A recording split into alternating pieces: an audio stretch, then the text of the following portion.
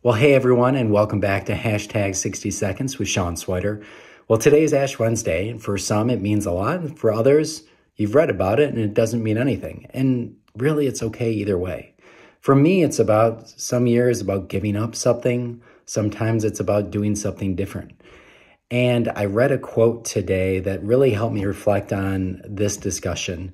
And it said, Let today be the day you give up who you've been for who you want to become.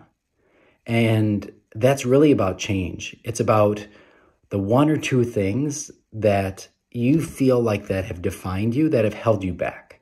Are there things that you wanted to work on to be a better dad, to be a better mom, to be a better worker, husband, friend?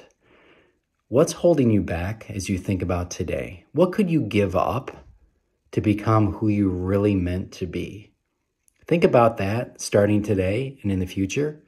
And I hope all of you take advantage to tweak one or two things to be who you want to be. Till next time.